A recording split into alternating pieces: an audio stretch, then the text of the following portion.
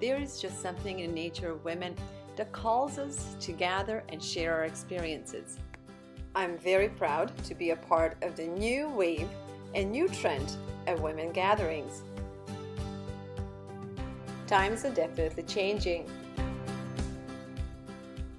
Era of Tupperware and makeup parties is being replaced with something far more meaningful.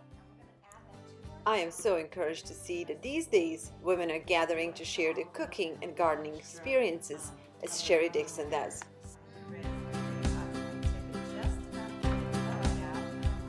Read with your mind. I know, it's right, we do. Right. And it's a very visual and, and mindful thing when you eat, right? It should be. Oh, it Well, should be. I eat with my nose too. Wow.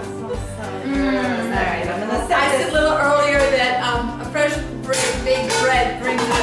child in us, and it takes us back to childhood. We were all cheering out and said, "Yay!" when it came out. So it's All right. interesting what this can do to you. To the garden. And Oh, Charlotte's here. Oh. With oh, everyone finally here and bread out of the oven, we were off to a garden. My blackberry shot way up. My blackberry is sitting on This tree is completely bare. Our hostess, Sherry Dixon, was very excited to take us for a walk in her beautiful grove. It was most rewarding for me to be in a company of people who understand the importance of staying close to nature and eating healthy.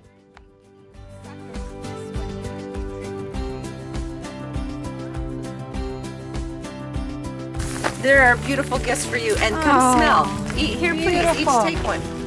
Thank you so much. And this I is a love bay leaves. natural, natural ant Oh my and pest gosh. control. Sherry was great, not just that she shared what she was growing, but she also taught us how to preserve it. you haven't tried cooking it with anything other than beef, it really does add a wonderful flavor to chicken Many- stock. Yes, many I d- I pork. don't do it without. no Okay, stock without it. for you, my friend. Thank Any, anyone else? Yes, I will take another one. Gifts like this do make me happy.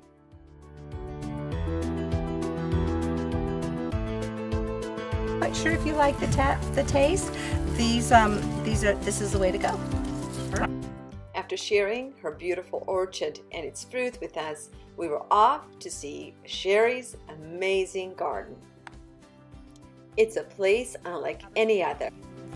Jasmine is almost done, but For people like myself, it's simply magical.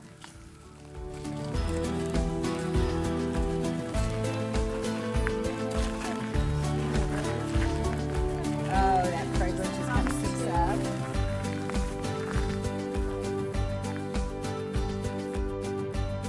The happy place. Gotta wash a lot away, which would be wonderful when we can afford to. We'll go ahead and box each row. Sherry knows a lot about gardening, and we were really lucky that she was willing to share some of that knowledge with us. rotate crops. So, Okay. but yes, if you have a smaller space and want, you can actually propagate them year after year because they are in that bulb. Well, I onion grow some things in different pots and stuff, and you know, and I can move it around, but I don't rotate so much. Although every now and again we do like some nitrogen fixing with some beans and stuff. I have a cucumber plant. And oh. so, as we walk around, you'll see that. And the other thing, What's the reason for that? Why they say you should the nitrogen naturally are conducive for each other. And then when we get over to the other side, I'm trying something new over there. Between my sweet peas, I have carrots.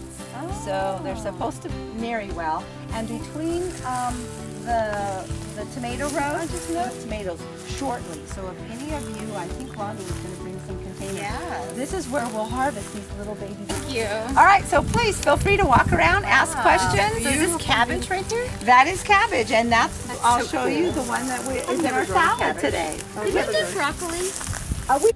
This was a lots of fun. But what you want to look for is where there is a sprout. So you would take this trimming. So here again, here is the here is the top, and the part we want to use is Is right, right- here. And if we cut right there, now you have double the plant growing out. Okay. Now I Which could be problematic if you don't hurry up and thin these. and this is lettuce here, right? That's a Bibb lettuce. That will be in our salad today. And some spinach in our salad today. Uh, I'm a big supporter of such a gatherings, and I would love to encourage you and your family and friends to do the same. I believe the seeds of change start in small gardens and around gatherings like this one. I wish to see us all grow strong and healthy, and I wish to see that we embrace each other and share our knowledge in support and Buy encouragement it online, and they towards do. better And it tomorrow. about. Oh, that's funny. Check it out. Look, I Jack.